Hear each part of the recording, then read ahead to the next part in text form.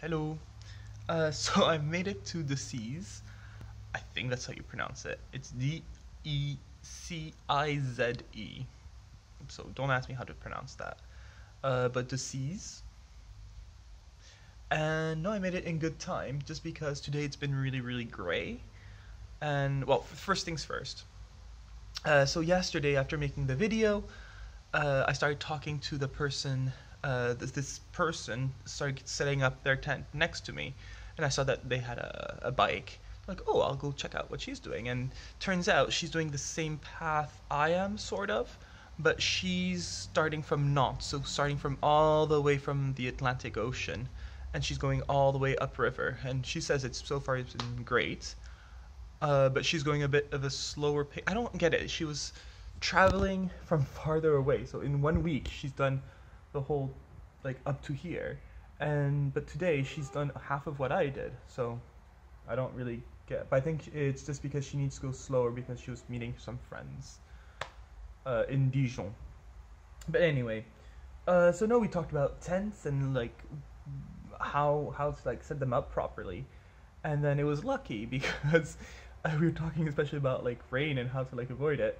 And then uh, in the evening, it started raining a lot. First, it was a little bit, so it wasn't too bad. But then it started like pouring, uh, and so was, we were, I'm glad we talked about it, so I could like set my tent up better.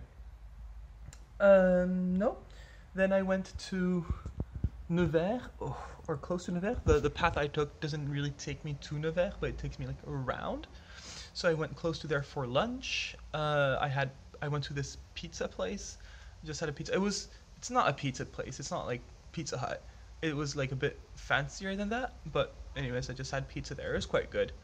Um, and then I saw inside uh, there was um, sorry. There's another biker that just arrived, so I'm looking at them.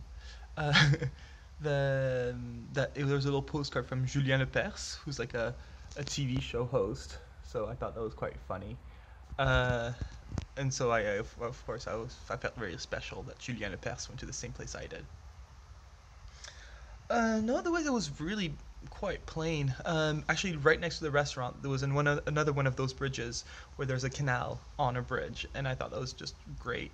Uh, and then there was another one later on, so lots of those. Uh, but otherwise, like it was just following the canal and following it and following it. So the first, it's like it's really nice and pretty, but you kind of get tired of them after a while. And today, yeah, it was very gray, very not great to cycle. Um, well, I say that, but then again, I didn't really get. I don't think I got a sunburn. I did put sunscreen on, but I don't think I got sunburn. Uh, but yeah, since it was gray, I was like, I don't want to be caught in the rain, so I just came here as fast as I could, and I got here at four. Uh, now I'm just quietly, yeah. Oh, my tent. I don't know if you can see it.